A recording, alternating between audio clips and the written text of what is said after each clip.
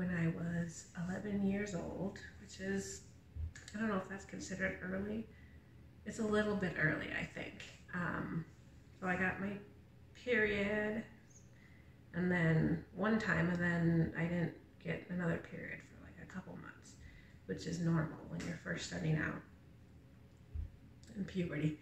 Um, and then my acne was really, really bad. Um, I had horrible um, big zits on my forehead, and then I get like a lot of pimples around my mouth area as well, and my chin. And so I had to be on a ton of different things. Like I've seriously, I've been on every single acne thing ever, except for Accutane. I haven't been on that. But anyway, so I had to deal with that. Um, I think my first acne treatment was doxycycline, the antibiotic, and then I used, um, I think, different, different gel.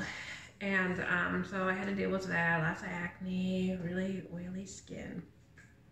And then around 13, 14, I started getting um, uh, excess hair on my upper lip. And I think a little down here as well. Um, my mom was the first one to notice it. I didn't notice it for whatever reason. And she thought it was really weird that I was getting this excess hair because usually um, it happens to like older women, women that are in menopause, they start getting excess hair on their face.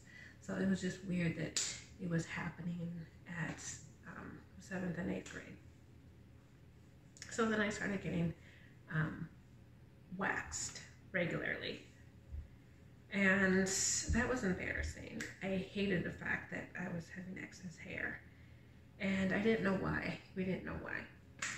So, fast forward to about 2021, um, my acne was just horrible, horrible, horrible oiliness and um, more upper lip hair and um, neck hair. It was just horrible. So I went to the doctor and we discussed what could possibly possibly be the problem. And he said um, something about PCOS and that people with PCOS go on something, uh, medication called spironolactone. So, and that, that was supposed to help uh, my acne and the oily skin, as well as excess hair, because it's an androgen blocker. So I went on that. Um, I was on 50 milligrams a day, and I didn't have any side effects at all. Maybe a little bit of weakness in the gym, because I do love to lift weights, and I think that um, I was a little bit weaker than I had been before.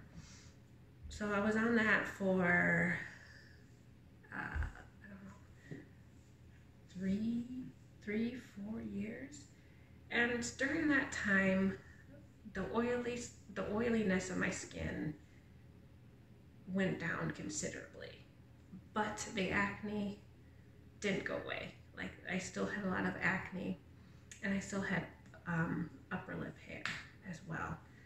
So I decided that it's not worth not worth taking because it's not helping me.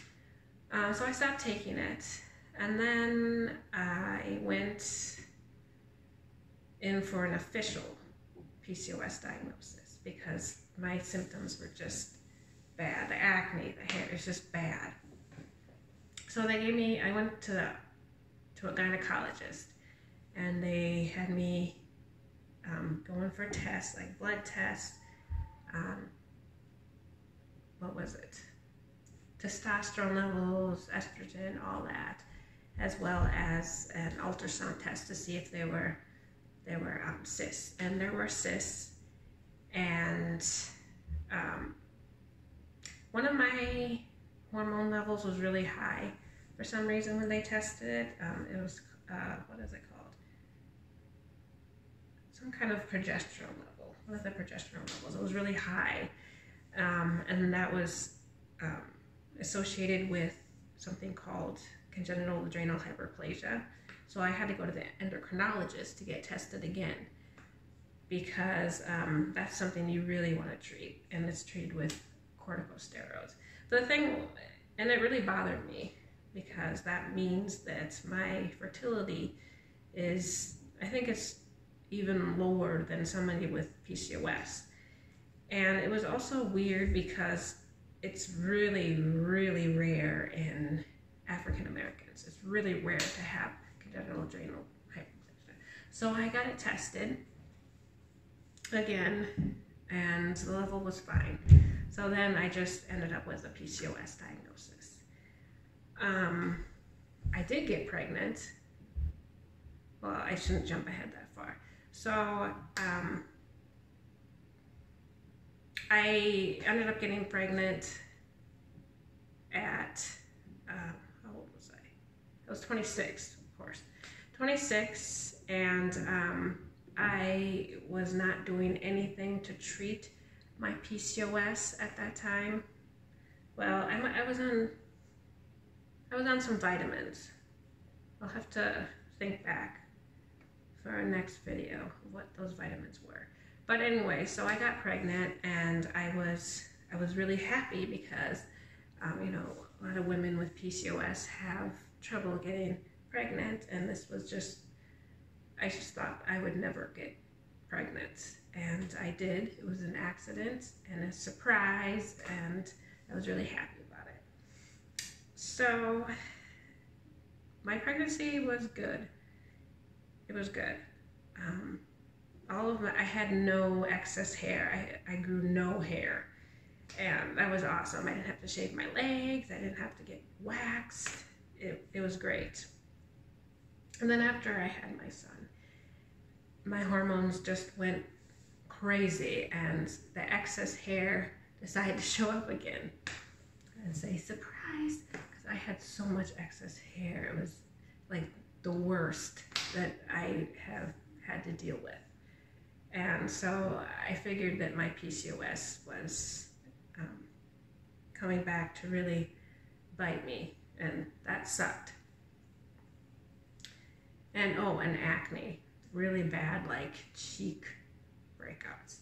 So I had to deal with that for about a year and a half. And then I feel like my hormones must have um, got back under control because that, I don't get as much acne anymore.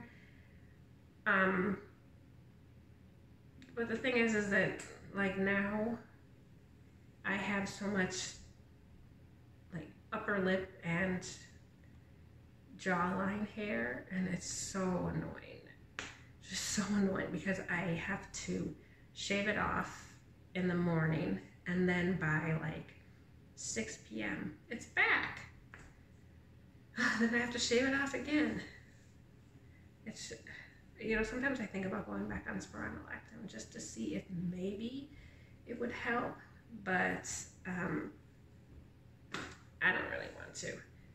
So, you know, I have to figure out how to treat my PCOS because right now I'm doing nothing. Well, I'm doing intermittent fasting, but I don't know if that will is or is treating it because people with PCOS are at risk for things like diabetes and high blood pressure, whatever. And most people with PCOS also are on like a low glycemic index diet or like low carb or keto, and I'm not on any of those. And keto, I really do not want to be on keto. I really do not want to be on keto at all. And it's going to suck if that is the only way to treat it and ward off these things. So, um, I don't know what I'm gonna do. I'll have to figure it out. Maybe